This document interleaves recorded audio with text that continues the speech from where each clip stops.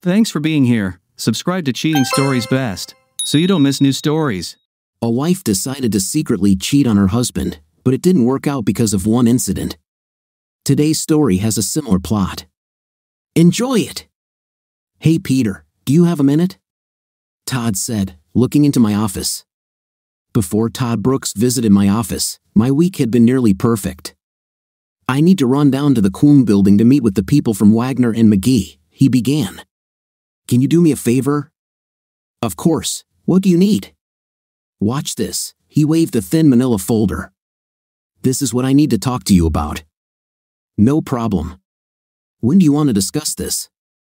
Meet me at Doyle's Irish Pub on the corner from Coombe 5. I'll give you a treat. Everything in the folder should be self explanatory. He handed me the file and hurried out of the office. From that moment on, my lucky streak ended. It had been the best week at work in months. Up to this point, my long term project was coming to a very successful conclusion. Moreover, it seemed that I would not have to take that extra flight to London, as I had warned my wife, Sarah. All the dots could be connected and every T crossed without having to go across the pond. I knew Sarah, my sweet wife, would be delighted with this news. My last business trips abroad came at a bad time, the last one led to a quarrel. Sarah was very offended that I would miss the gallery opening that I had promised to attend. Since Sarah was responsible for organizing major events for the Museum of Art, these gala events were a big deal for her. I was able to convince her that I had not planned the trip solely to avoid accompanying her to the event. I didn't think much of Todd's folder, putting it aside to read when everything else was finished. As my project was coming to an end, I started planning to take a few days off. Perhaps Sarah and I could spend a long weekend at that little hotel on the lake. At 4 o'clock, I was completely free, my desk was clear, and I decided to leave for the day. I took Todd's notebook and file and went to Doyle's pub to meet Todd. I expected to read the information and jot down some comments while I waited. Since I was in Doyle's pub, it seemed appropriate to order a Guinness. After a long sip of the tart stout, I opened the folder for the first time. What I found was a thin, tattered sheaf of papers with a note from Todd stapled to the top. Peter, I found this hanging out in our department. You need to study this carefully. After reading this, you may want to skip our meeting. Do not do that. Meet me at Doyle's pub at 5 so we can talk. I'll try to come early. Todd. This, of course, only increased my curiosity to the limit. Looking back, I wished I had thrown the entire folder in the trash. I would feel better, my life could have turned out differently, and I could have avoided a lot of pain. What Todd asked me to read was a story, a love story with explicit intimate content. At first glance, there was nothing unusual about this. It was called My Romance by Sam 33. So what was the matter? Why was Todd so keen for me to read his favorite erotic novel? It's not a big deal, you know, but I've never made it a habit to read something like this. My night life with Sarah was interesting enough without fantasizing about someone else. I couldn't imagine why Todd thought it was important that I read this. It didn't take long to understand why. Right on the first page were all the clues we needed the names Todd and Sarah, and a mention of a gala event at the museum. Obviously, Sam 33 was my sweet wife of 33 years, Sarah Ann Miller. What a surprise! Never in my wildest dreams did I think that Sarah would write, much less read, erotic literature. This was a story I was dying to read. Perhaps Sarah and I could talk about it or relive her fantasy later. I didn't have to read far before I started to have misgivings about the story. My name was not mentioned anywhere in the document, but because it was written in the first person, I could hear myself being discussed when the narrator, my wife, mentioned my husband or talked about night in our daily life at home. The gist of the story was a romance between Sarah and a mysterious man referred to only as my lover. The story apparently took place at the museum's most recent gala event, the one I was suddenly absent from. What surprised me was that the date had been planned for a long time. There was no doubt about the author of the story or its authenticity, a perfect description of the midnight blue dress Sarah wore that night, along with the events that took place in our living room when it was just her and me. I quickly read the story, skipping most of the scenes after the gala when her lover took her to his hotel room and they had an intimate all night. I wasn't interested in knowing the details. Just the thought of it made me nauseous. T.S. Eliot wrote, April is the cruelest month. For me, of course, March turned out to be demonic. At least, that's how it started. Sarah, my Sarah, cheated on me. She was the last woman I would ever expect to cheat on me. Sarah was so reserved, demonstrating a very conservative set of values. The reality of what I read caused me pain worse than any pain I have ever experienced. I fell in love with Sarah in third grade. I often caught her looking in my direction too. She was my version of the little girl with the red hair, Charlie Brown. In Sarah's case, it would be Peter Miller's sandy haired little girl. Neither of us ever approached the other to express personal feelings because we were both extremely shy in matters of the heart. It wasn't until the homecoming game our freshman year of high school that I gained the courage to approach her.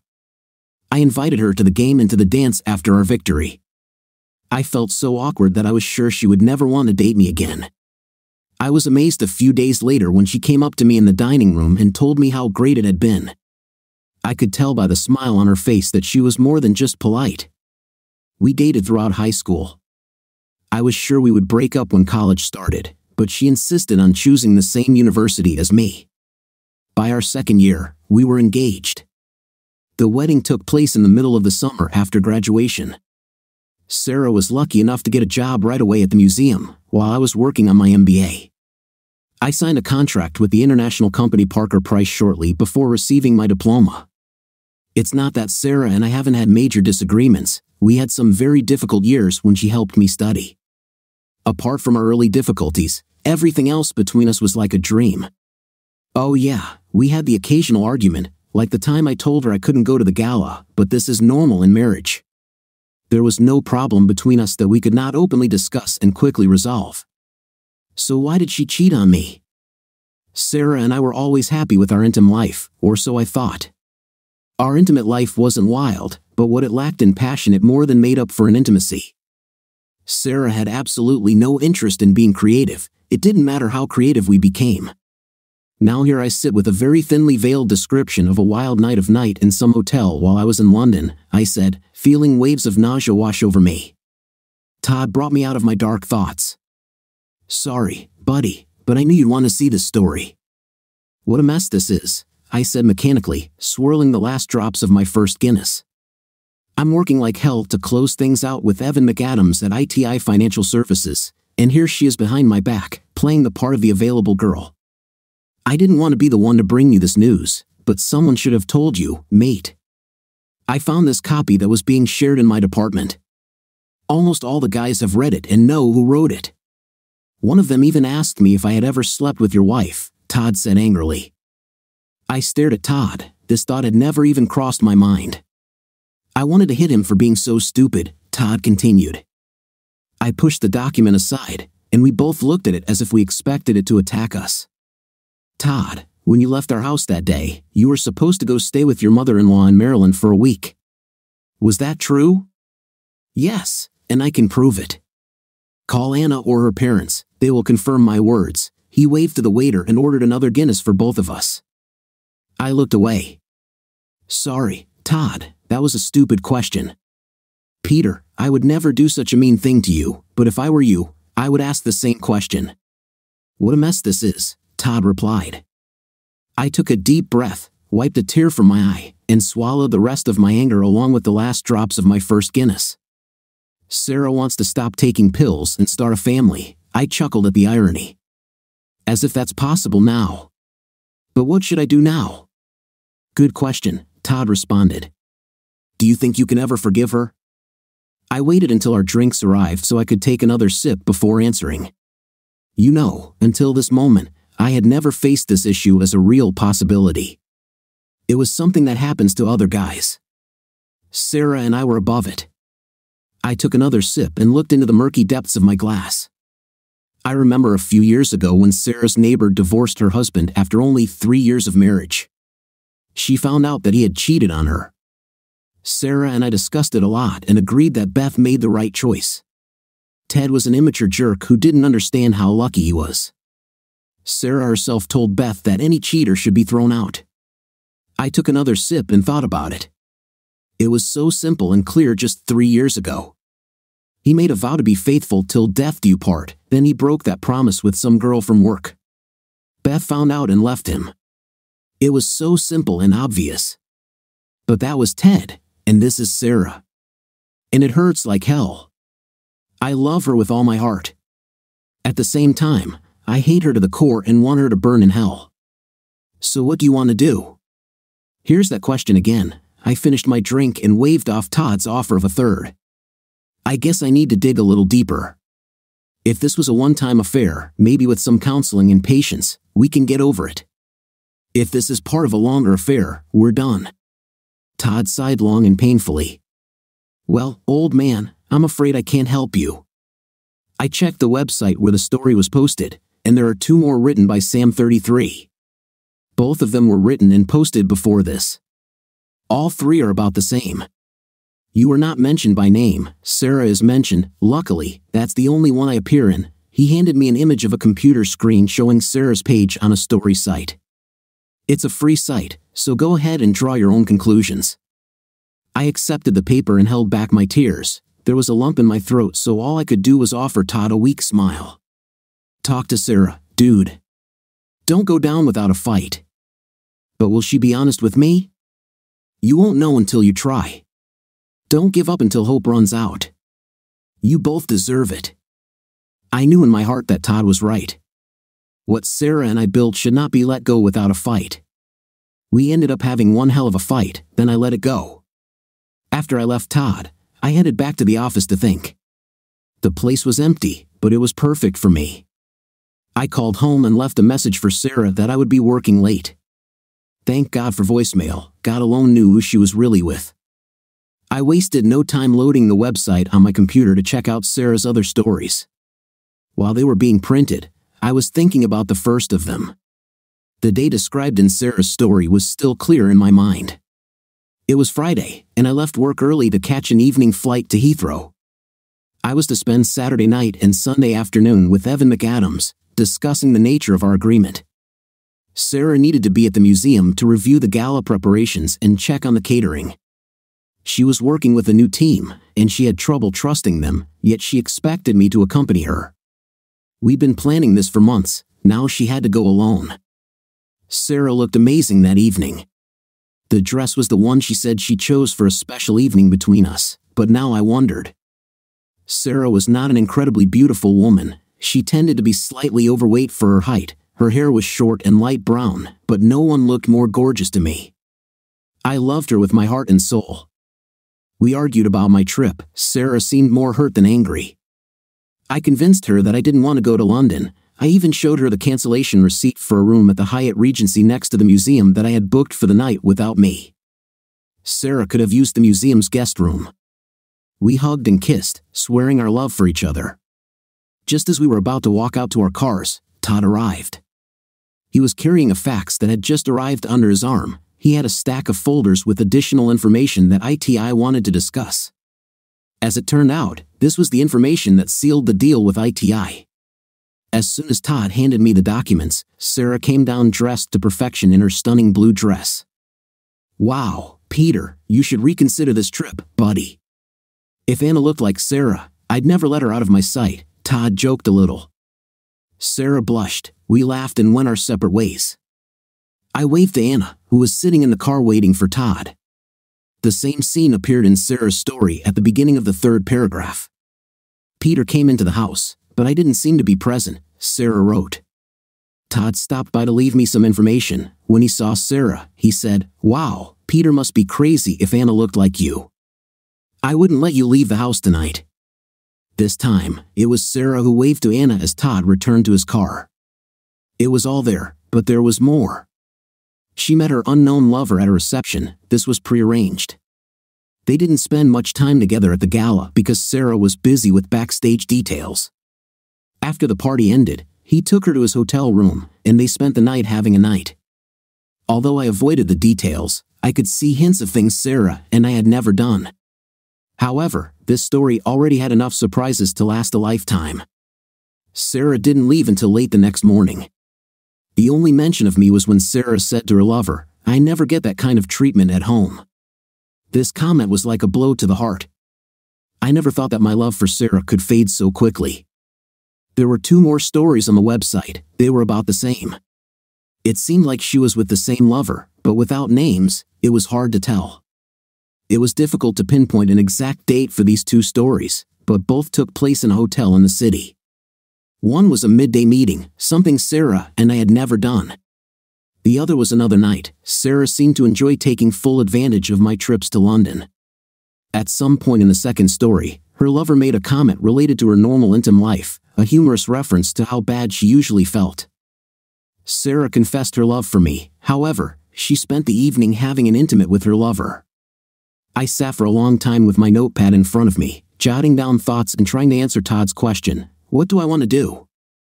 I knew I should talk to her, but attacking her suddenly seemed like a bad idea. So, Sarah, I think you cheated on me, yes? I braced for the two possible outcomes, and neither of them was good. 1. She is guilty.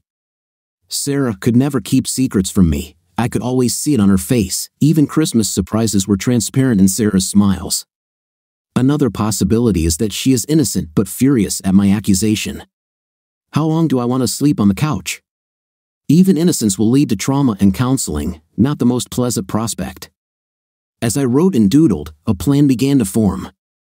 I'll try to recreate the conversation we had when Beth and Ted got divorced. There was a married guy in another department who considered himself a big conqueror. He was very cautious in public, but in the office, he was known as the one who regularly harassed all the secretaries. Amy, my personal assistant, complained about how he harassed her. I knew I could get all the information I needed from Sarah if I framed the conversation correctly. All I had to do was remain calm and observant. As a backup plan, I arranged to go to London for a week. Although it wasn't necessary, I was willing to take this step if it meant I had to leave home for a week. It was already past 8 in the evening when I turned off the computer, packed my things, and went home. I knew I would set a new record for getting home late from work, but I didn't care. At least I could face Sarah calmly. Darling, you came back quite late, Sarah said happily. She was curled up on the sofa reading a novel. I thought you were almost done with this ITI thing. The problem arose towards the end of the day, I replied, giving enough truth to avoid lying. I needed to think about it. Have you eaten? I can heat up something if you want. Or thanks, but no thanks, I interrupted. I'll just make myself a sandwich.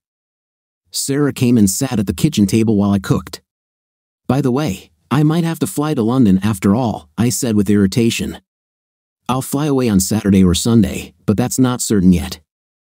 I'll be able to tell you more tomorrow. I grabbed a beer to go with my sandwich and sat down across from my wife. Do you remember Dean from accounting? I asked, starting the decisive conversation. Sarah reacted with a dissatisfied sigh, confirming that she remembered him well.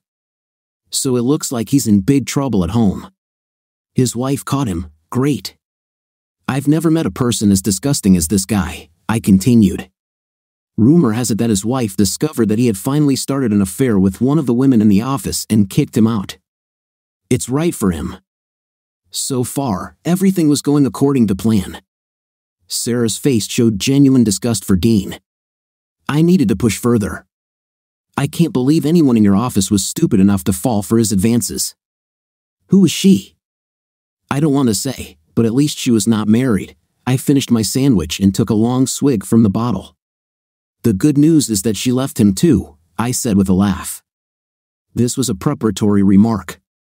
Apparently, he wrote a story about it and posted it on several adult sites on the internet. He wasn't even smart enough to change the names or details. Sarah fell silent. Can you believe it? Of course, I would never cheat on you in the first place, but brag about it. The light in Sarah's eyes went out. She pulled away from me, this was not a good sign. I know what you mean, she responded stiffly. I put my dishes away and excused myself, saying I was going to take a shower. When I returned, Sarah was again sitting in her corner of the sofa reading. I took my book and sat on the other end of the sofa. I pretended to read, turning the pages at the right moments, looking at the words in front of me, but the only thing I was thinking about was the conversation at the kitchen table. Sarah was guilty, and I knew it, her eyes told the whole story. The only question was what I wanted to do with it. The next morning at work, I confirmed my trip to London. I planned to fly out on Sunday morning. This would give me a chance to rest and begin to get used to the jet lag. A nice side effect was that I got to be nice to Sarah on Friday night and all day on Saturday. I debated whether to confront Sarah, but decided not to take the nuclear option until I was fully prepared to bear the consequences. A week away would give me time to think and prepare. My last days at home before the trip went better than I could have expected. Sarah was busy in her office, making plans for her next gallery opening, and I had no reason to disturb her. On Friday night, we cuddled before bed. All I could think about was her decision to cheat on me. Why did she do this, knowing that she was taking a risk? Saturday went the same way. Sarah felt unwell, and as a result, was not interested in intimacy. I pretended to be upset, but in my heart, I was happy. On Sunday, I was at the airport early and headed to Heathrow. As soon as I boarded the plane, I knew I had to hire a detective to follow Sarah. I was flying out of town, and it was the perfect time for her to make an appointment. Well, I haven't been thinking too rationally the last few days. My usual calm persona was replaced with a hothead. Evan McAdams was thrilled to meet me for breakfast on Monday. It's a pleasant surprise to see you again, Peter, he said when he greeted me. We could have signed this agreement without your special visit. We put a lot of effort into this, Evan. I just didn't want to risk something going wrong at the last minute. The board will be impressed by your dedication, some of them would like to meet you too. We had a pleasant conversation over breakfast, talking about the upcoming World Cup game between the United States and Great Britain. Naturally, Evan dismissed our chances of winning. Although I knew little about what Evan called football, I still persisted in our chances just to tease my new friend. On the way to the ITI Financial Services building, Evan said, Have dinner with me tonight. I have a proposal I'd like you to think about. What proposal are we talking about? I asked. Evan smiled slightly. Tonight at dinner, then we'll talk. Now, let's get ready to meet with the ITI legal team and convince them of our agreement. Evan and I spent the day carefully working out every detail of the plan that we would present to the legal team for collaboration between ITI and Parker Price. Neither of us wanted the slightest detail to be missed. This represented too much work and a large amount of money for both corporations. I carefully prepared the PowerPoint presentation, refining it to my complete satisfaction. At 6 o'clock, I returned to the hotel to get ready for dinner. Evan met me at 7 o'clock. He took me to a cozy pub in a quiet area with excellent food and quality ale. I let Evan take the lead, waiting for him to bring up the topic of the new proposal.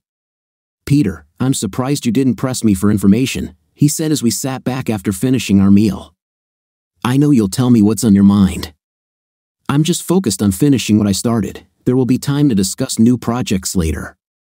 Ah, but this is not a new project, at least not in the usual sense of the word. It will be something completely different. Evan paused while our table was cleared of dishes. My deputy had just left for a bigger and better position with a German firm. Since the only logical step for him at ITI would have been to take my place, I had to wish him luck. This left a critical vacancy at just the time when ITI and Parker Price are starting a new joint venture, and I want you to take over. I was stunned. I don't know what they think at home, but I'd like to hear more. Would your board agree to this? Evan nodded. The chief has already spoken to Daniel Price. Parker Price would be willing to place you with us indefinitely. We will take over all your payments to Parker Price and offer you and your wife a generous housing allowance. I don't know how much you earn at home, but between you and me, I suspect that if you approach things right, you can join ITI with a generous salary increase. I told Evan I would think about it and let him know before the board meeting. The truth was that it was a gift from heaven. Although I didn't want to seem too excited, the only problem was that I had no idea where my life was going at the moment, much less when I would figure it out. The next morning, I met Evan again for breakfast. I explained the dilemma I was in. How much time do I have to give you a final answer? This is a great offer, and I'm really interested in it. If things don't go well with Sarah, this will be a real lifesaver, but I need a little time. Can you give me an answer by the end of the month? That will give you a little over three weeks. Great. This way, I can complete all the business at Parker Price. I don't want to leave anything unfinished. I owe them that at least. I spent the flight back home lost in thought. Somehow, I needed to get to the bottom of Sarah's secret life. Pursuing her wouldn't work because the only evidence I had came from my trips abroad. Another option was to hire a professional to find the answers. I abandoned the idea because I didn't want to spend money proving something I essentially already knew. Besides, I had no intention of leaving on a business trip for the next three weeks. If I wanted to hire someone, I should have done it before leaving for London. In the end, I decided to act directly. I have a couple of weeks, I'll try to gather more information, like reading different stories. Perhaps if I study the stories again and make a list of possible lovers, I can learn something new. As usual, Sarah seemed happy to have me home again. Since secrets seemed to have become a way of life in our house, I did not mention anything about the job offer at ITI. I spoke only of the great success of the proposal, and like a supportive wife, Sarah was delighted for me. When asked about her life in my absence, Sarah said that, in addition to going to work as usual, she stayed home and worked on a few projects around the house. I didn't notice any major changes at home, however, whatever the projects were, I didn't see any traces. Sarah and I made love that night and went back to our regular schedule. I reasoned that if she had already cheated on me, it wouldn't hurt to keep up appearances. I never thought there was anything wrong with our love life. I wasn't suggesting trying anything new that was so vividly described in Sarah's stories. The thought of trying something she had already experienced with someone else made me feel sick. True to form, exactly a week after I returned home, a story appeared on Sarah's website. It was similar to the others, containing detailed descriptions of intimate encounters between Sarah and her lover while I was in London. I was just a footnote mentioned only indirectly towards the end of the story. Sarah wrote how she wished she could enjoy intim like this every night. When I walked into the office the next morning, it seemed like every man in the office was exchanging knowing smirks with me. Poor fool, his wife is cheating on him and he doesn't even know. For some reason, those looks were even worse than the thought of what Sarah was doing. I thought about calling Todd and inviting him to Doyle's pub, but the thought of discussing my humiliation in public was too painful. Instead, I decided it was time to confront Sarah once and for all. I left work early, hoping to get home before Sarah. In retrospect, it might have been better to confront Sarah immediately upon my return. Instead of being furious, I would be hurt and angry. Perhaps we could discuss the situation calmly. Sarah arrived home at the usual time. She came in, put her briefcase on the table, kicked off her heels, and went to the refrigerator to get her favorite bottled water. Then she came into the living room where I was sitting with a bottle of Samuel Adams. Honey, I'm so glad you're home tonight, she sighed. I'm tired today. You wouldn't believe the work Dr. Richards gave me, and to think it's only Thursday. I opened the folder I was holding, pulled out a stapled package of papers, and threw it on the coffee table in the middle of the room. I made sure it was laying in front of Sarah where she could see it clearly. Sarah, did you write this? I asked, pointing to the tattered copy of the story Todd shared with me. Sarah's face turned almost scarlet. I knew right away that I wasn't going to like the rest of the conversation. Yes, I wrote it, Peter, she said hesitantly.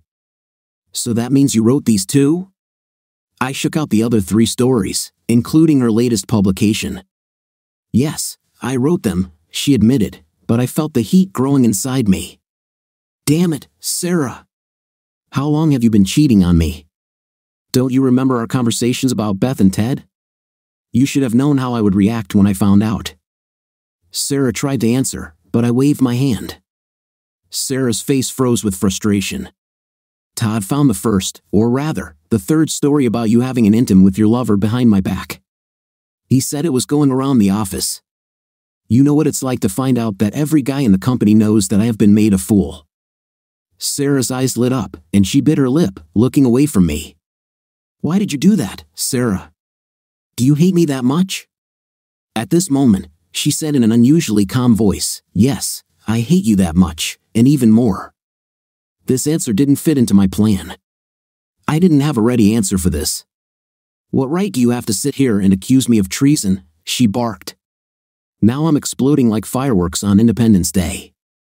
I let my anger control me instead of controlling it as I should have. What right? I screamed. I'm your husband, and right on this coffee table is the original account of the four times you had a night with your lover behind my back. God only knows how many times there were that didn't even make it to print. Sarah grabbed the stories and threw them at me. To hell with you, she exclaimed. I don't need to sit here and listen to this crap from you, especially after the crap I went through today. She stood up and stormily left the room. Sarah, come back. We need to talk about this. I need to know. At this point, I realized that she already knew everything she needed to know. You're not in the mood to hear anymore, she shot back. Sarah, go to hell, you an idiot.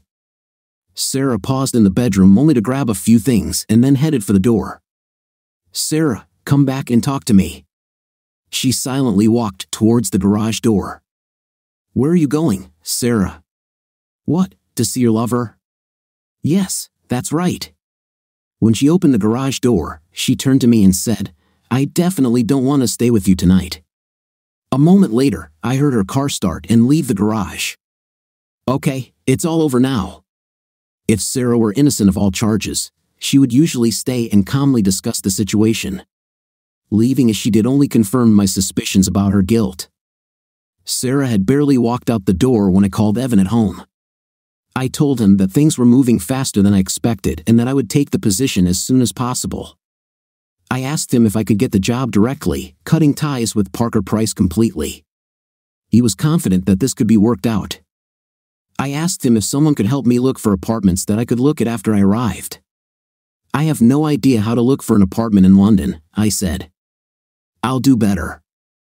I'll find someone to go with you and help you choose one. I hardly slept that night. The next morning, I resigned from Parker Price since I was moving to ITI. Daniel thought the best solution was to end the relationship immediately. The only thing I asked him to do was to keep the location of my new job confidential. I shared with him the sad state of my personal life. My second priority for the day was to meet with my lawyer. I chose Sandra Howe because she had a good reputation. Thanks to a cancellation, she was able to see me that same day she promised to draw up a simple divorce by mutual consent with the division of property in half. There was very little equity in the house, so I told her to either sell it or give it to Sarah. Finally, I signed a power of attorney so that my lawyer could proceed with the divorce without my presence. My last visit was to the bank. I closed all joint credit cards and took half the money out of the accounts.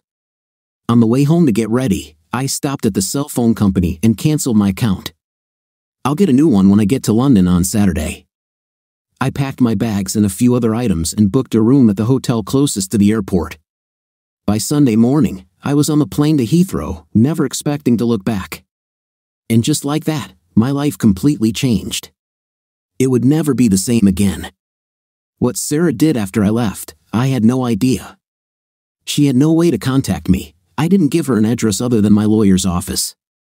She didn't have my phone number the secretary at work was told to simply tell her that I no longer worked for Parker Price. She and her lover could live happily ever after without bothering me. I left the game and had little interest in playing on the field, all my attention was focused on my career. Evan had booked me into the Crowne Plaza Heathrow until I decided where I wanted to live permanently. By the time I got to London, it was late local time and I was exhausted. I fell onto the bed and slept soundly for the first time in weeks. The time difference made itself felt the next morning when I was awakened by a knock on the door. The clock by my bed said 10 a.m., but my body clock was against waking up at 4 a.m. I quickly pulled on my tracksuit and looked through the crack in the door. A cute little redhead stood in front of me, smiling and holding two coffees.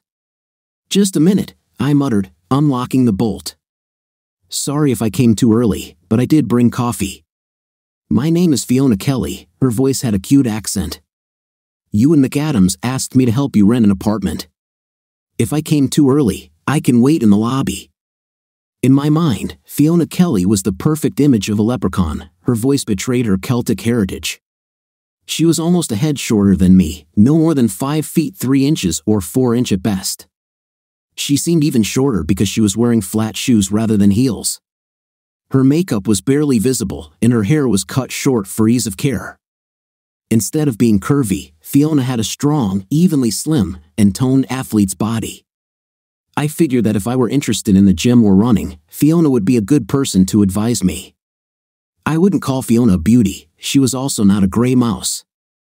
She was more than pleasant to look at. If she had tried harder, I had no doubt that she could have been quite attractive. But Fiona seemed uninterested in external details. Nothing about her appearance looked poor or sloppy, everything was carefully selected from the best stores, but with special attention to style. She clearly felt comfortable being herself. I need to shower and shave, I said, swallowing a yawn. If you don't mind, you can wait here, no problem. Great. I'll be ready in a few minutes. Sit here and enjoy your coffee. Oh no, both coffees are for you. I prefer tea myself, but I was told that without coffee, you Yankees are not able to face the light of day or something like that, I replied, laughing at her wit.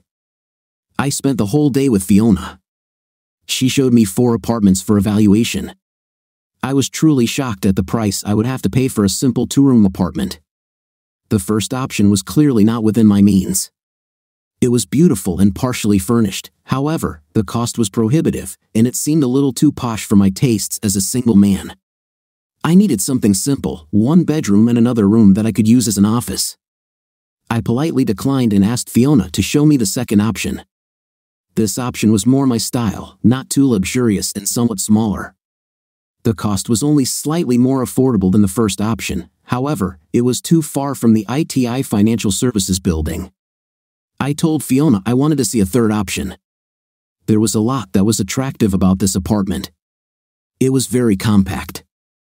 I honestly couldn't understand how one of the bedrooms could be used for anything other than an office.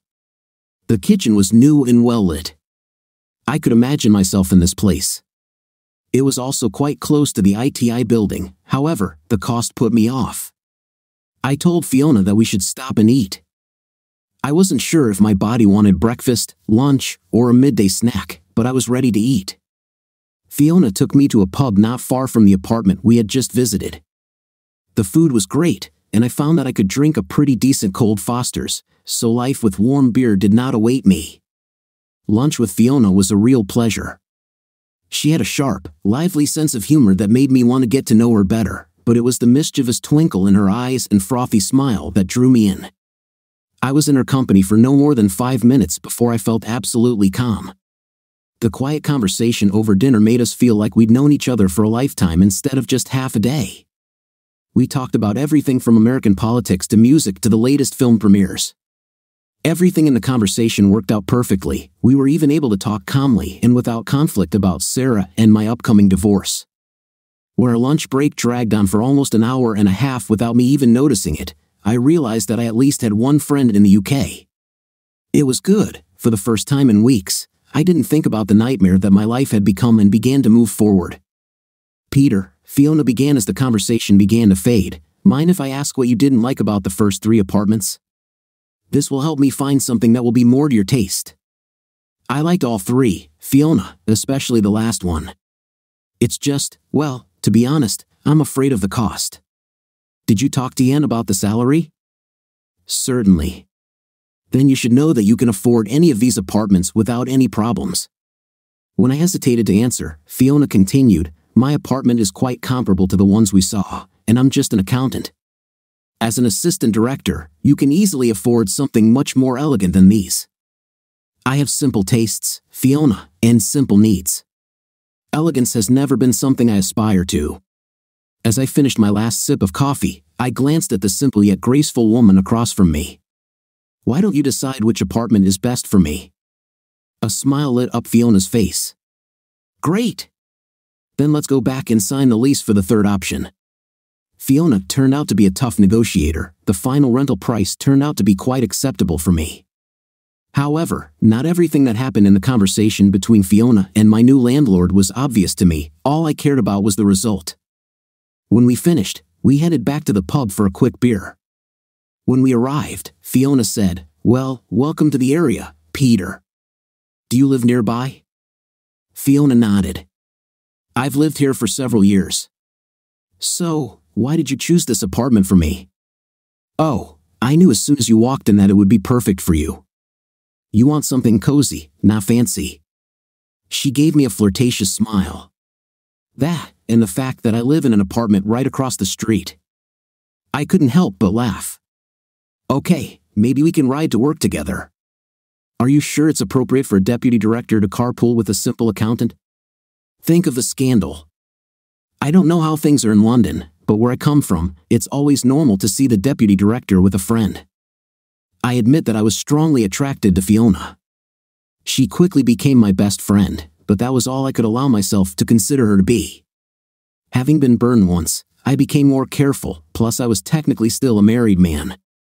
I had not heard from my lawyer since arriving in London and had no idea what the situation was. When I had not heard from my lawyer by the end of the second week, I called him. She was given the documents on the day you left for London, he told me. I could tell she was caught off guard. I haven't seen anyone this upset about this in a long time. Is she going to fight the conditions? I thought I was pretty generous considering. I don't know yet, her lawyer is delaying. We have a court hearing next week, then we'll find out more. Somehow, this didn't surprise me. With a boyfriend already chosen, Sarah had no reason to rush. My guess was that she was trying to get to me again. Well, I wasn't going to take that bait. If she wants to stall, let her stall. She'll run out of money much sooner than I will. I could concentrate on my work, and with Fiona by my side, life seemed pretty good. Fiona was invaluable in the first few months as I settled into a job, a new city, and a new country. She never tired of making fun of my American pronunciation and ways of doing things. Of course, I made fun of her back. At first, Fiona only met me for a casual lunch at the pub near the office. It didn't take long before we expanded our horizons to dinner and theater or a concert. We discovered that we both had a deep love for the same types of music. We became regular visitors to the Royal Festival Hall. However, our dates were entirely platonic, although it was clear to both of us that the attraction was growing. Where are we going, Peter? Do we have a chance at a real relationship? asked Fiona as we stopped for a drink after a particularly moving performance of Fauré's Requiem. I'm still married, Finn.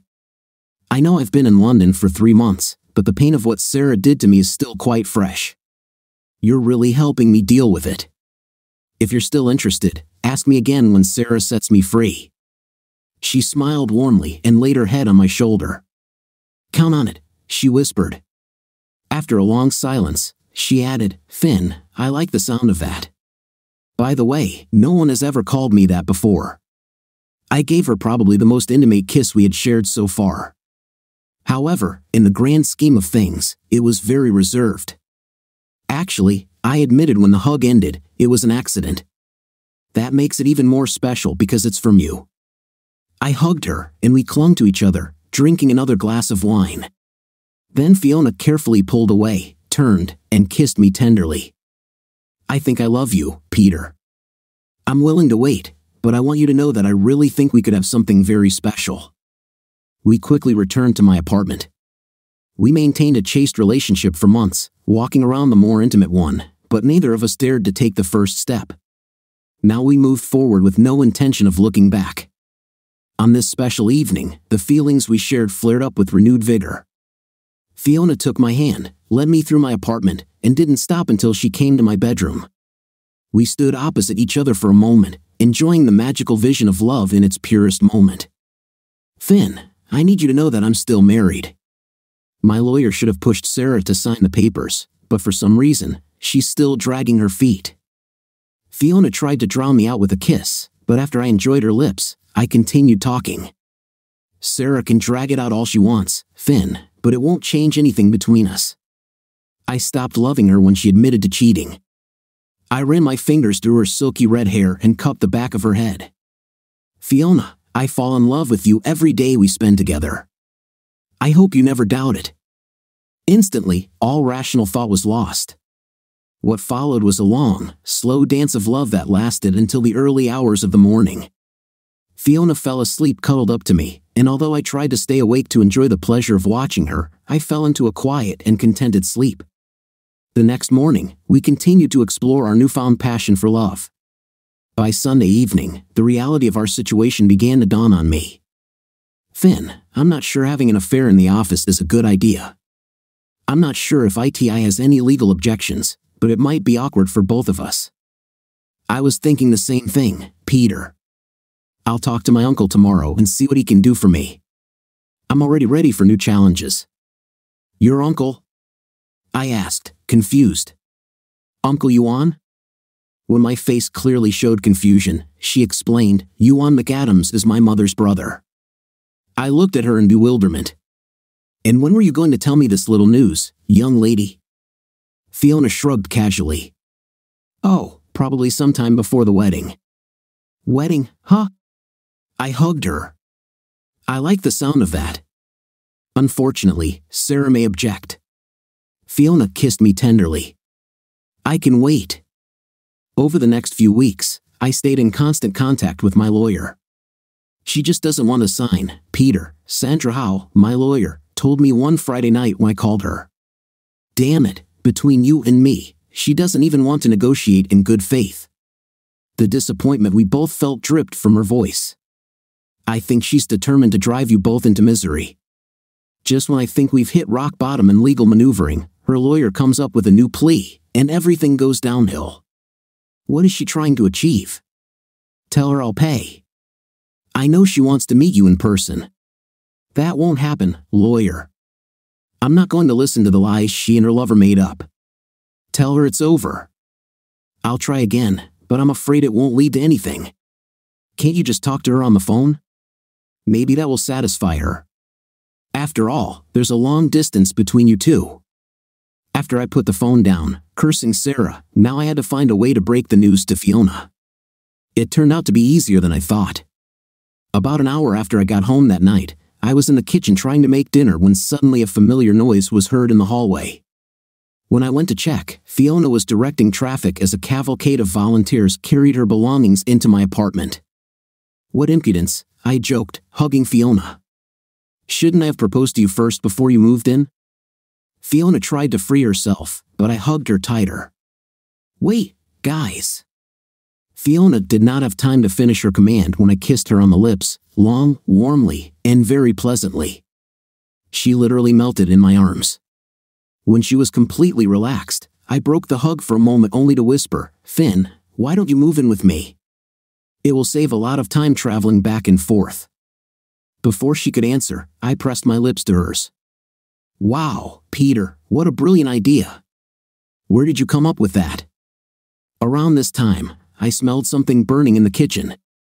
Oh, shit! I exclaimed, rushing to save dinner from complete destruction. When the noise in the other room died down, Fiona crept into the kitchen, put her arm around my waist, and examined the burnt pan. Is it my fault? Don't worry, sweet Finn. The meat is fine, it was just a ginger glaze. I'll have a replacement ready before you're ready for dinner. I hugged Fiona. I'm going to adore this new arrangement, I said before resuming our interrupted hug. Have you spoken to your lawyer? I cringed at her question, hoping this could be put off until after dinner. Yes. It won't like this, right? Sandra is causing trouble. Looks like this will take longer than I wanted. Fiona looked disappointed. I hugged her and kissed her tenderly. It doesn't change anything, Finn. I'm going to marry you. You and I will live happily ever after, we just have to wait until Sarah gives in. She can't hold on forever. Actually, I took her hand and led her to the bedroom. Peter, I can wait until after dinner, she replied, laughing. I can't, I objected. I led her to my dresser and pulled out from the back of my underwear drawer a small box that I had hidden there just a week ago. Opening the box, I said, Fiona Kelly, will you marry me? Fiona looked in surprise at the diamond ring that stared back at her. It was the biggest ring I could afford, and to me, at least, it looked impressive, definitely bigger than the one I bought for Sarah. Fiona started in bewilderment for a moment. When she reached out for the ring, her touch was careful. She looked as if she believed the ring would disappear. I began to worry when she silently ran her finger over the stone. Oh, Peter, she whispered. I. I didn't expect us to get to this point before your divorce was finalized. She hugged me and covered me with kisses. Her joyful tears moistened my face as well as hers. Of course I will marry you. Needless to say, we rushed through dinner and spent the rest of the night in bed celebrating our new beginning. Our connection was turbulent with a passionate essence that I hoped we would never lose. Long before we were ready to sleep, we were both completely satisfied. However, neither of us wanted to leave the bed. We lay together long after midnight, whispering to each other about our love. I was lying on my back, Finn was lying with her leg thrown over mine and her head on my shoulder. Eventually, we were able to sleep, although how we slept is a matter of conjecture. The next morning, we woke up in the same position. I woke up first, Finn's red hair tickled my face. Her scent was hypnotic. Slowly, I lowered my hand until I cued her fifth place. I'm purring, she purred. And to think I could wake up like this every morning. I'd really enjoy it. I know what you mean. I've never been so happy to see the sunrise. What do you say if we stay here all day? We need to go out and eat, Finn teased. Oh, I don't know, I countered, accepting her challenge. I think I can survive. I then got under Finn's hair and playfully bit her neck. A moment later, the jokes were forgotten, and we got down to business again. Seriously, we didn't spend the entire day in bed, but we did spend it staying very close to each other. Between our lovemaking, we sat huddled together on the sofa. I'm not sure if we were kissing or, as Finn called it, making out. I suspect it depended on who you asked. Either way, we delighted in it and enjoyed it with phenomenal enthusiasm. This was the beginning of the happiest period of my life, and even the news that Fiona told me a month later did not bother me. Instead of fear and panic, it only led to more excitement. Peter, Finn began, her voice trembling with emotion. I have news, and I'm afraid it might not be good. I hugged her and gently reassured her, as long as you're with me, it can't be bad. Finn grimaced, then taking a deep breath, she said, Peter, I'm pregnant. I pulled her away to look her in the eyes. Are you serious? I'm sorry, she whispered. I didn't let her finish. I picked her up and gave her a long, passionate kiss. Oh my god, Finn, this is wonderful. I love you so much. When she realized that I was not angry and was not going to leave her, she wrapped her arms and legs around me as we sighed. I took Finn out to celebrate. The celebration, of course, ended with a long night of amorous gymnastic exercises. I cared even more about Finn now. If Fiona ever doubted my love for her, I gave her every reason to put that doubt aside. An accidental pregnancy seemed like a gift from God. She definitely wasn't in her plans, but I welcomed Fiona's growing belly with open arms. I began to very loudly express my anticipation for late autumn when the baby was due. I thrived at work like never before, Ian noticed the difference immediately. Perhaps it was the added responsibility of providing for another human being, but whatever it was, Ian McAdams was delighted with the work I was doing. The only thing that dampened my enthusiasm was the delay in finalizing the divorce. I wanted so badly to marry Finn before the baby was born, but Sarah seemed to be just as stubborn and adamant as ever. Everything suddenly changed one day in early September. It started with the surprise arrival of Todd Brooks. The stated reason for his visit was to consult on the status of the collaboration between Parker Price International and ITI, but it quickly became clear that Todd had a hidden agenda. Talk to her, Peter. It's more complicated than it seems, Todd pleaded. Almost immediately after I dropped him off at the hotel, I agreed to talk about it later, and Todd only agreed when I made a solemn promise to sit down and talk about Sarah. Listen, Todd, you rest now, but I'm picking you up at 6:30 p.m. for dinner. I want to treat you to the best food you've ever had in London. Where will it be? You'll see. Just rest, dress comfortably, and I'll pick you up later. I picked Todd up right on time. I felt like a child with a new toy as I directed the taxi driver to our apartment. I was so excited that I would be able to introduce someone from the house to Fiona. So if I knew you were cooking dinner, I would have insisted that I pay. I can only imagine what kind of cook you are. Oh, unbeliever! I objected. Fiona is a great cook, and she's been stressing about dinner all day. You won't be disappointed, trust me. As soon as I showed Todd into the apartment, Fiona joined us, her apron barely covering her obvious pregnant belly. Todd Brooks, let me introduce you to the most beautiful cook in the world and soon to be mother of my baby, Fiona Kelly. Todd stared at Fiona for a moment in obvious surprise before hugging her warmly. Since you haven't married this guy yet, I demand the opportunity to share a few stories with you in private. There's still time to talk some sense into you. Oh, I think I can answer you with a story for a story. The truth is that I am quite partial to this mischievous scoundrel, despite what you can tell me. I think I will still keep him, she stroked her pregnant belly, or should I say, we'll keep him. Little Ian will need his father. You still think it won't be Brianna? I joked. No way. If you had to carry him inside you, you'd know the truth too. This baby is definitely going to be Ian Peter Miller. Changing the subject, I said to Fiona, Todd is here to discuss a project together, but since he's a longtime friend, he wants to update me on the status of my divorce. Not until after dinner, Finn ordered. It's ready to serve. Todd admitted that I did tell the truth about Fiona's cooking skills.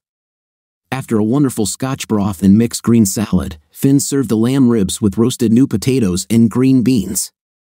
When she asked if we wanted dessert, both Todd and I groaned but gratefully accepted a slice of a wonderful fro cake. Peter, my friend, Todd began, moving away from the table, if you eat like this, I'm surprised you both aren't more at home. Well, I started winking at Finn as she started clearing the table. Hey, buddy, I know how Fiona got to look like that, and it has nothing to do with what she ate. When Finn came back for more dishes, I pulled her into my lap. She gave me a gentle kiss on the cheek and tried to get up. I held her. I'll clean it up later, love.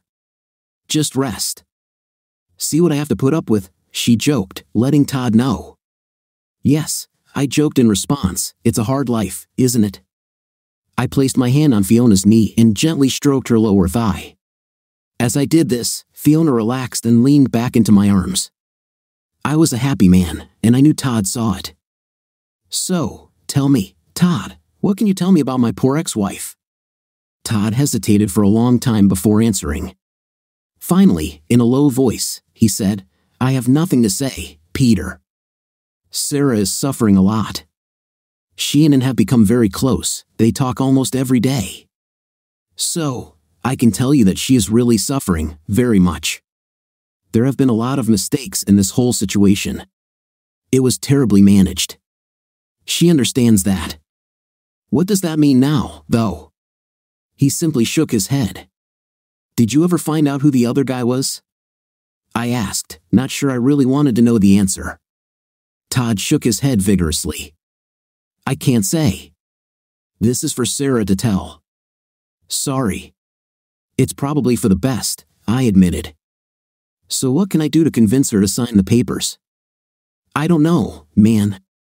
I really don't know. Talk to her. Talk to Sarah, man. You need to talk to each other. There was sadness in Todd's voice. I suspected that and wasn't the only one who had become good friends with Sarah. It really made me feel better. She may have treated me badly, but deep down, she was a good person. She deserved support. Maybe she can learn a few lessons about what went wrong in her marriage so she doesn't make the same mistakes next time. After the short conversation about Sarah, Todd apologized for the rest of the evening. He said he was tired after the flight and needed rest. I arranged to meet him at the ITI Financial Building on Monday afternoon. Then I called him a taxi, and he left. I was hoping that I could learn a little more from Todd about what was going on with Sarah. The way he spoke, I assumed he had quite an interesting story. Just shows what happens when you make assumptions. Well, at least Finn and I turned out no worse than we were before. It was a pleasure working with Todd again. He was the only part of going to ITI that I regretted. It was good to know that I had a longtime friend working at the same place, someone I could go out with after work, have a couple of beers, and talk sports with. His visit ended too quickly. Just after Wednesday morning, Finn and I drove Todd to Heathrow Airport and flew him back to the States. Todd's plane had barely taken off when my cell phone rang. It was my lawyer. Sarah finally signed the divorce papers. With luck, everything will be formalized and signed within a few days. Then, in a month, I will be a free man. Fiona heard the excitement in my voice and realized what was happening. She was just as excited as I was, even though she hadn't been officially told anything yet. As soon as I finished the call, I turned to her, got down on my knees, and asked, Fiona Kelly, would you be so kind as to marry me? I was thinking about late October if you can fit it into your calendar. Hmm, she began, you know. She thought as she rubbed her pregnant belly. I'll talk to Ian Peter for a bit, and we'll get back to you. That's normal, I countered. You two make a decision. I'll just wait here until you decide. With a giggle, Finn took my hand and pulled me to my feet. Then she literally jumped into my arms. How I managed to catch such an awkward bun, I have no idea. I don't think the kid was nearly as excited about this maneuver as his mom or dad. After she showered me with kisses, Fiona said, We both say yes. For the rest of the week, Fiona and her mother were constantly on the phone.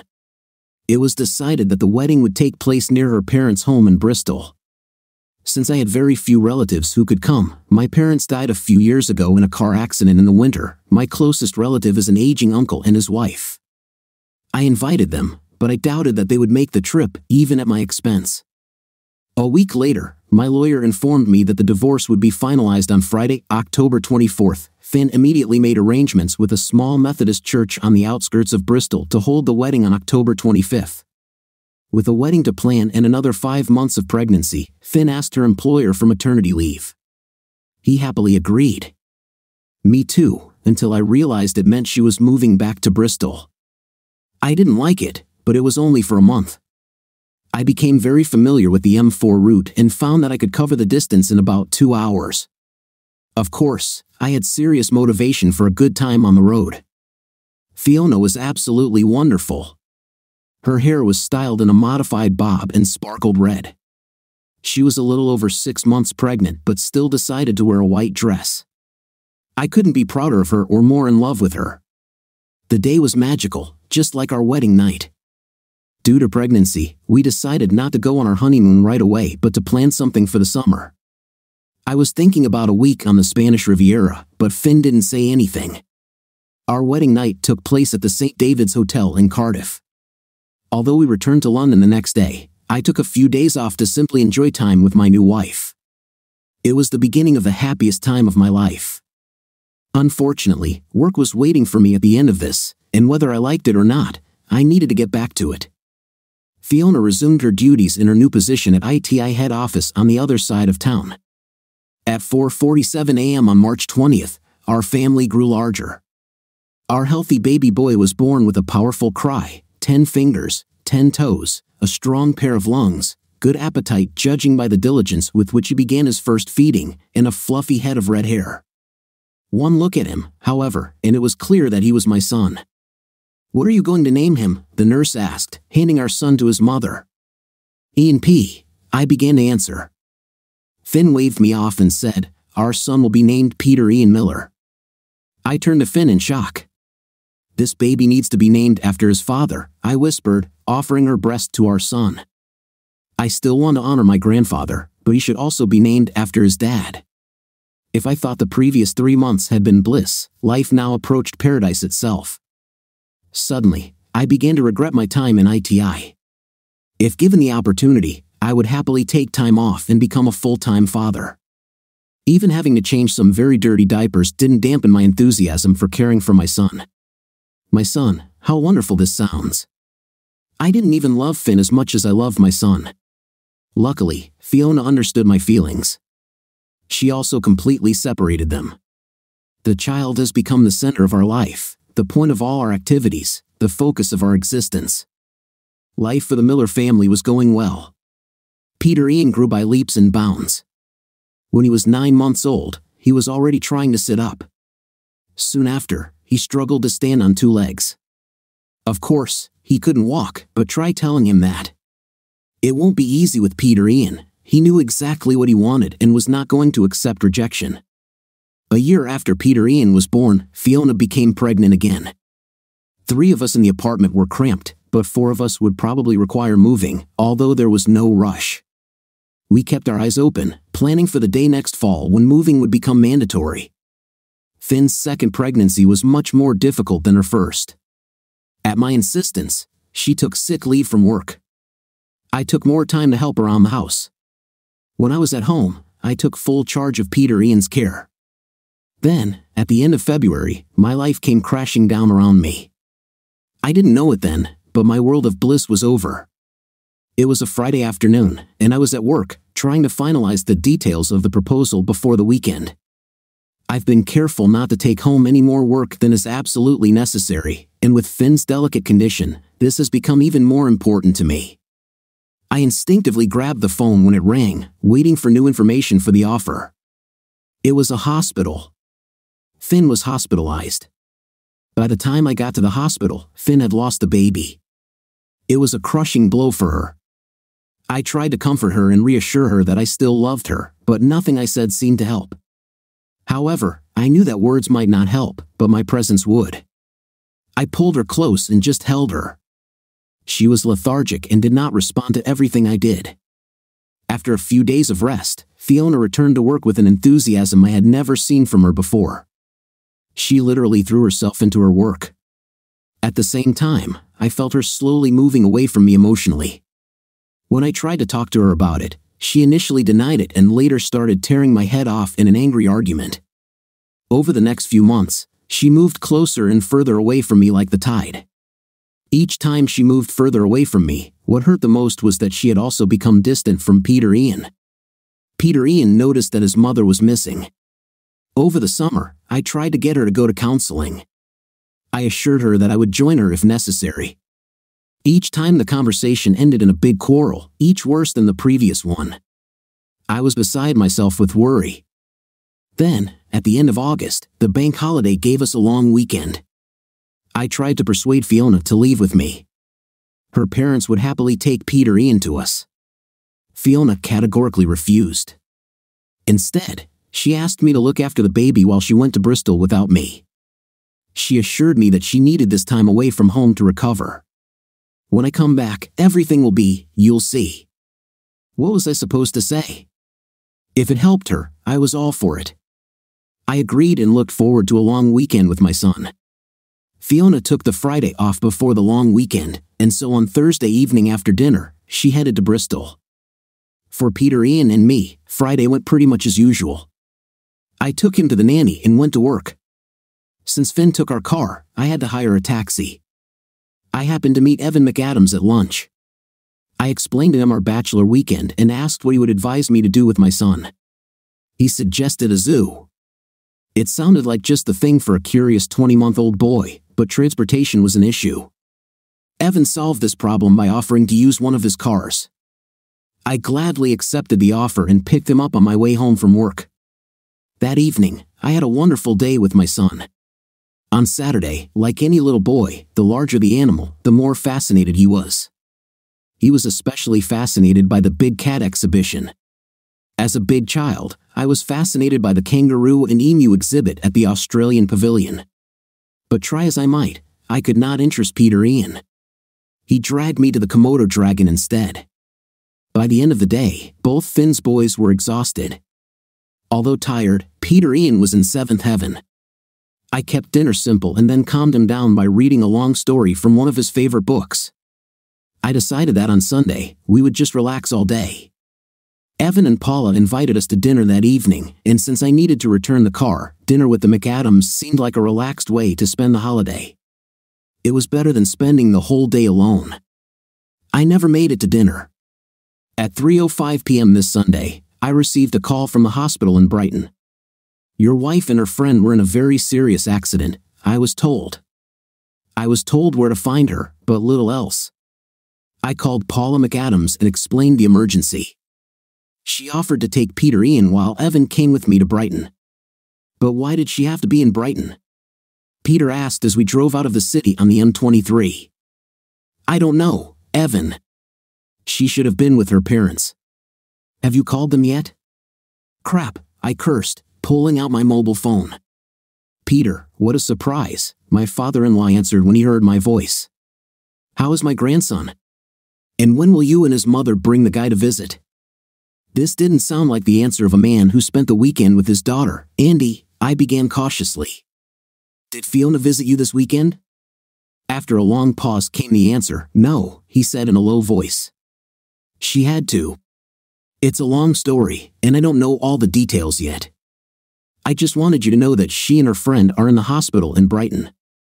I told him all the information that the hospital employee gave me. What was she doing in Brighton, Peter? And who was that friend she was with? I held back a tear. I don't know, Andy. I just don't know. We'll be there as soon as possible, Peter.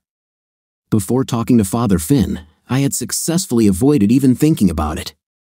What was Finn doing in Brighton, and who was she there with? I felt an empty feeling in my stomach, which was quickly filled with a crowd of butterflies. Who was she with, Evan? Do you have any ideas? No, Peter. I haven't, but I have concerns. Evan's silence after that comment was heartbreaking. Talk to me, Evan. You're killing me here. There were rumors of an in office affair between Fiona and another man, but that was before you came on the scene. There has been absolutely nothing since then. Plus, he now works in a different department from Fiona. They don't have a chance to be together. I sobbed, wiping the moisture from my eyes. Most likely, it was one of her friends. Evan drove me as close to the door as possible and then went to park the car. I literally ran through the hospital until I found the ICU. I was greeted by a team of nurses and technicians who showed me to the consulting room. A few minutes later, both Evan and the doctor arrived. Mr. Miller, Thank you for coming so quickly. I won't take up much time, but I wanted to let you know how serious your wife's condition is. Things are on edge at the moment. We'll know more in the next 24 hours. What happened to her, doctor? He brushed off my question. I know you have a lot of questions, and there will be time for all of them later. Right now, you need to worry about Mrs. Miller's condition. She is in critical condition. The car was traveling at a very high speed and flipped over several times. Mrs. Miller has many fractures, three broken ribs, and a punctured lung. Several internal organs are damaged, but our main concern is her head. She suffered a very serious head injury. I screamed in shock. Will she survive? The doctor winced. I can't say for sure. As I said, everything is on the edge. Her friend Mr. Wilkinson did not survive, he died instantly. Ken Wilkinson? Evan screamed. The doctor nodded. Ken Wilkinson. Now I have a name. He was the head of accounting at ITI Financial, Fiona's former boss, married with three children. He's like the salt of the earth, or so I thought. When can I see Finn? I intervened. Now, if you want. Just don't bother her more than absolutely necessary. With fear and trembling, I allowed the nurse to escort me to Fiona's room. Even with all the doctor's preparations, I was not prepared for what I saw. Finn seemed buried in a sea of tubes, her head was wrapped in a bandage, and it was obvious that her hair had been shaved off on one side. Worst of all, she was completely motionless, the only sound in the room was the slow and regular hum of the machines. I whispered words of love to her, but I wasn't sure I believed them at that moment. If my suspicions were correct, then Finn and I had a long way to go before I could say I loved her again. I wasn't even sure I wanted to take that journey, but for Peter and Ian's sake, I might have to try. Fiona still didn't move. I gently stroked her cheek but felt no response. Oh God, Finn, I whispered to myself, hoping she didn't hear me. What have you done? A few minutes later, the nurse came in with a chair for me. I will not disturb you, I asked. Just don't bother her any more than absolutely necessary. She was about to leave, but then walked towards the closet. Oh, her purse was left here when she arrived, and here are the other things she was wearing when she arrived. Her clothes, of course, couldn't be saved. I was holding a small bag containing the necklace I gave Finn for her last birthday. There were also earrings from the set, but no wedding ring or diamond engagement ring. When I asked, the nurse said she didn't wear them. I hesitated to look through Finn's purse, fearing what I might find, but in the end, I had to. In the outer pocket was an envelope containing a key card for a local hotel. Later, I found her engagement ring and diamond ring hidden in the pocket of her suitcase. She and Ken met at a motel near the waterfront. I sat looking at the motionless figure of my wife, wondering how we got to this point. Now I have become a victim of two cheating wives. What is it about me that provokes this behavior in those who claim to love me? Peter, a voice from the door brought me out of my gloomy thoughts. Evan sent us. How is she? Not very good. I forced a smile at my wife's parents. Any idea what happened? I just shook my head. Why don't you spend some time alone with your daughter? With a slow feeling of rejection, I headed to the waiting room. I found Evan just as he was putting down the phone. He squeezed my shoulder comfortingly. What a mess, he whispered. How is she? I shook my head. I couldn't even put it into words. Only time will tell. This was as close as I could get to expressing what I was afraid of. I was just talking to someone in accounting who always knows the latest gossip, Evan suggested. I don't know if it's any consolation, but I doubt it lasted long. In fact, it might have been a one time occurrence for them. It didn't help at all. I wanted my wife back, my Finn, not that stupid woman on the bed. The place in my stomach filled with butterflies came alive again, and Evan led me to a comfortable chair in the waiting room. Finn didn't survive the night.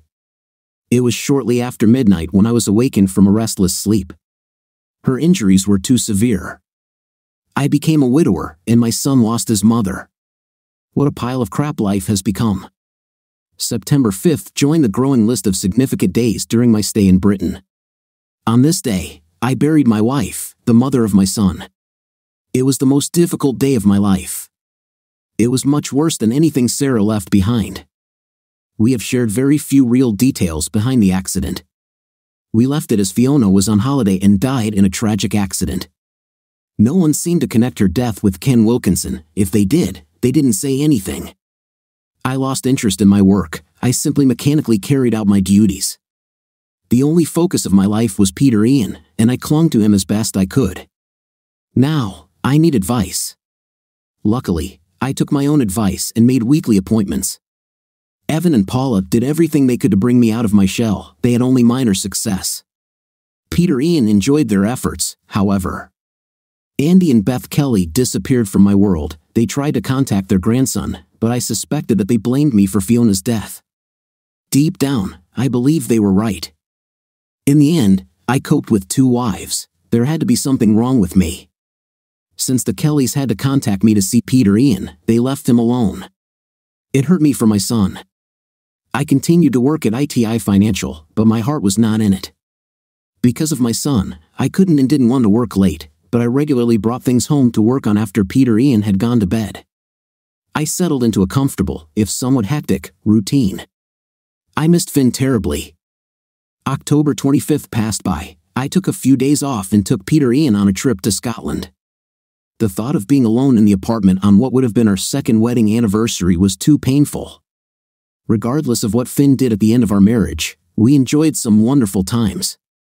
I really missed those moments. As November came to an end, I realized that the holidays were approaching, and I would only have my son for family. The prospect was not encouraging. After all, Peter Ian's second birthday wouldn't come until a month after Christmas. Evan insisted that I join his family for the holidays. I refused. It sounded nice, but I knew I would feel left out. I preferred to be alone than to be an object of pity. Imagine my surprise when on Saturday, November 21st, I answered the door and saw Sarah. Can I come in and talk, Peter? she asked, somewhat embarrassed. Sarah looked absolutely stunning. Her hair was longer and well styled, she had lost quite a lot of weight and looked slim and toned. The Christmas red dress she wore hugged her figure and made her look absolutely gorgeous. Well, they say time heals all wounds, and since I was feeling pretty wounded, I saw no reason to refuse her, of course. Glad to see a friendly face, I turned the leader into the living room. Peter Ian had cars and trucks scattered all over the floor, making walking difficult. As I turned to talk to Sarah, I noticed a small face peeking out from behind her skirt. She looked like her mother, although she seemed a little older than Peter Ian. The surprise on my face should have been obvious. With a smile, Sarah said, Don't be shy, honey. He won't bite you. Then the little girl saw Peter Ian on the floor playing and ran to join him. They immediately plunged into a parallel game. Her name is Rachel Lynn Miller, Sarah said. She was born on October 27th, two days after our divorce. She bears my mother's full name. I was touched. Sarah barely got to know my mother before she died. Mom would be delighted with her granddaughter and would spoil her beyond belief. Oh my god, suddenly a lot became clear. Now I understood the delay in the divorce, as well as the sudden change after Todd's visit. I also suspected that Sarah's pregnancy was behind her short patience on the day of the argument. Rachel, my daughter. Her hair was blonde, but like her mother's, it would probably darken with age. Her eyes were green, like mine. I watched Rachel and Peter Ian play, amazed by what I saw. Rachel had enough Miller traits to make me not doubt her origins. When I found out Rachel was coming, I was overjoyed. I couldn't wait to tell you. Sarah paused. She's yours, you know. Please don't doubt it. Although if you want to do a test, I'll understand. No, everything is okay. I was almost speechless with surprise. I was so hoping that you would come to me or at least call me. I wanted to explain everything to you so much. I never stopped loving you, you know. Sarah held back a tear, but then Todd called me while he was at your place, and oh God, Sarah, I'm so sorry. I was a real jerk. I cried as I realized how quickly I had jumped to the wrong conclusions and the stories were a terrible mistake while you were away. I had some free time, and I decided to write some fantasies. I wanted to create stories about the romance I knew I had to live with you. I don't know why I never published them. I guess I never believed that anyone I knew would find them. It was so stupid, Sarah. I'm so sorry. I was a fool to think you could cheat on me. I messed it up so bad. It was my fault, too, Peter. I've regretted every day for the last two and a half years how irrationally I responded to your fears. When I realized what it looked like from your point of view, I couldn't blame you. I just wanted to talk, but by then you had already moved on. The irony of it all is that I got what I deserved. Fiona actually did what I accused you of. I guess I deserved it for the way I treated you. No, there was determination in her voice, Peter. No one ever deserves this. So, what brings you to London? I asked, praying to change the subject. You fool. I wanted you to meet your daughter. And if you don't come to me, I decided that I'd better come to you, Sarah forced herself to smile. Besides, I thought you might need a shoulder to cry on. How long can you stay? I have an open return ticket, but I wasn't planning on coming home until after Christmas, unless you wanted us to leave earlier. Where are you both staying? Todd found a place for us. One of his friends offered us a place to stay. I nodded automatically, not wanting to go deeper. You might know them, Evan and Paula Adams. Now I was really surprised. This is definitely not what I expected to hear. No wonder Evan and Paula were so insistent that I spend Christmas with them. Todd called Evan a little later, well after your wife's funeral. Evan told Todd he could tell me about your loss. Todd asked if he could tell me about your loss. Evan obviously thought you needed a lift in spirits because he called me directly to invite me to come. I took a leave from work, and here I am. I sat back and watched the two toddlers play contentedly on the floor, a boy without a mother and a girl who did not know her father. They were separated for only six months, both were mine. What should I do about it now? Is there hope for us, Peter, Sarah? We've both been hurt badly. It's too early to think about us. I'm not even sure I'm ready to think about me yet. I understand, Peter. It took me a long time to get to where I am now. I'm willing to wait. In the meantime, Rachel needs to get to know her dad as well as her brother. We arranged to meet for lunch on Sunday, and despite the terrible weather, we had a good time. Sarah and I maintained a friendly, if guarded, distance. She spent a lot of time with Peter, and I spent a lot of time with Rachel. Both children spent a lot of time interacting with each other. They were still at the stage of shyness and uncertainty, but they got along great. Sarah, I began as I pulled up to the McAdams house to drop them off. How about I take Thursday off? I could cook dinner for the four of us. Interesting, of course, but what's so special about Thursday? I've been in London for almost three years and haven't forgotten, but you've only been here a few days and don't know. It's Thursday, Sarah looked at me in confusion. At home, it would be turkey, Macy's parade, and football, she sighed. How could I forget Thanksgiving? But it's not a holiday here, so what? We both laughed. It was the first time we shared a laugh in years. Does that mean you'll come? I wouldn't miss this. I got up early on Thursday and went to the market. I wanted to make dinner as special as possible, so on the way home, I stopped at the bakery and bought that pie that I knew was Sarah's favorite, as well as a nice loaf of bread. Sarah and Rachel were due to attend a formal dinner at 2 p.m. Everything was ready for their arrival. Smells great, Peter. I didn't know you could cook. This is a side of you I've never seen before. Necessity is the mother of invention, they say. Fiona and I were busy at work, we shared cooking duties.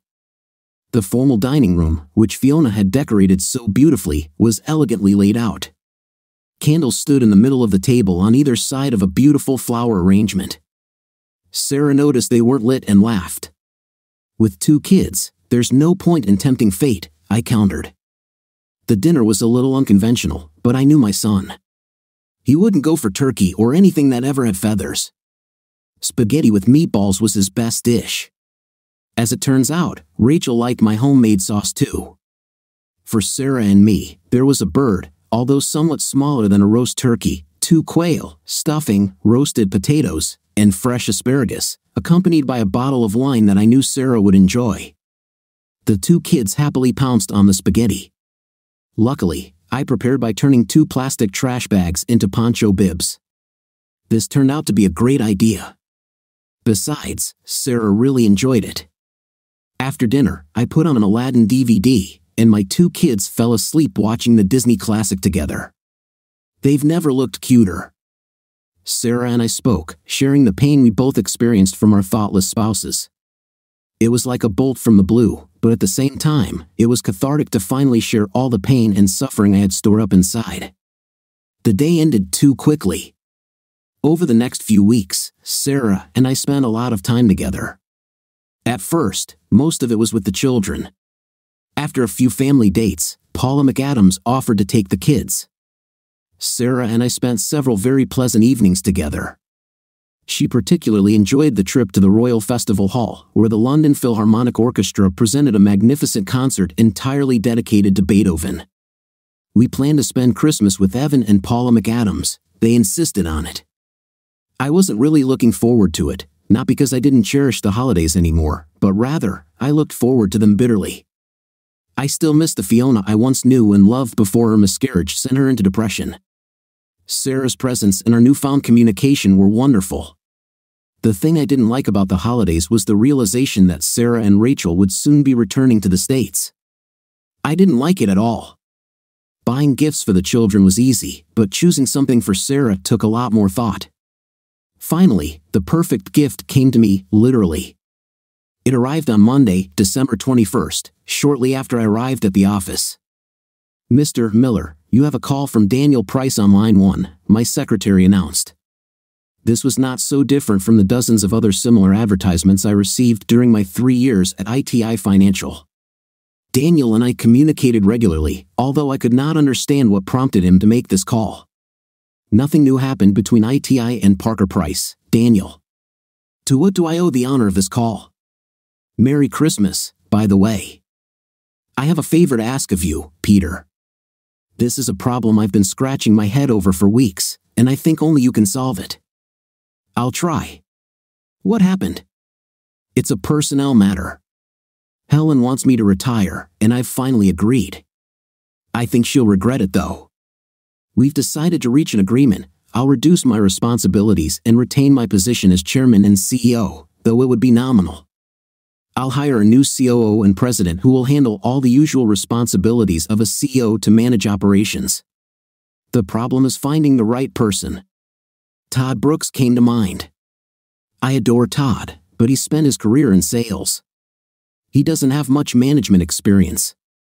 If you want to go that route, he would be a good choice, but you may have to do more than be a figurehead CEO.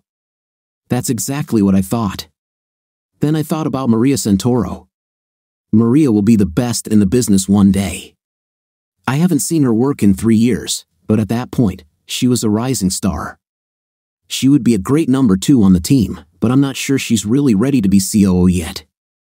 I completely agree with you. This brings me to my final choice. He's the best in the business, but he's not part of the Parker Price team.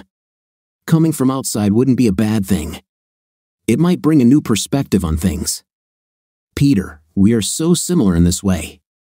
There was a long pause in the conversation. So, will you take the job? I. I. I don't know why this came as a surprise to me, but it did. I need to think about it. I need to discuss it with Evan too. When do you need to know? The next board meeting will be on January 15th. I hope to nominate my deputy as COO by then. I couldn't concentrate on work that day. Instead, I picked up a notepad and started taking notes. At the top of the page, I listed the positive aspects of moving, below the negatives. I didn't like the idea of taking Peter Ian away from his grandparents, but they hadn't been particularly friendly to me since Fiona's death. I knew they absolutely loved Peter Ian, but he and I were a package deal. On the other hand, there was Sarah. But was I ready to do it again? It would have been a huge step forward in my career, but I loved it in London. By mid afternoon, I took a lunch break and went for a walk to sort out my thoughts. I met Evan in the hallway just after I got back to the office. Can I talk to you, Evan? Of course. Here, or do you want to go out for a pint? Even though I had just had lunch, I chose the second option. After we each had a pint of Guinness, I shared my dilemma with Evan. I knew I couldn't keep you as my second in command forever, since I'm not yet ready to retire myself. This poses a problem. I was hoping your wife would keep you here, but his voice trailed off in sadness, which we both felt. What do you want to do? I want to stay here at ITI Financial. Oh, Okay. But what about Sarah? I know. I'm starting to think we'll end up trying to start over. Did you tell her about this? We dropped hints, but she says she'll wait for me. That's what I was hoping to hear. I like Sarah. You both messed up last time, but after all the pain you both went through, I think you might make it work this time. Maybe Sarah and I should talk tonight. Maybe after our wedding, we could live here. That would be great. But what about Sarah's job, her career? She might have a hard time finding the same kind of work here in London. The economy isn't doing well, plus she's put a lot into her job in the States. I nodded absently. It doesn't help, Peter. I appreciate your loyalty to ITI, but there comes a time when a bird needs to learn to fly.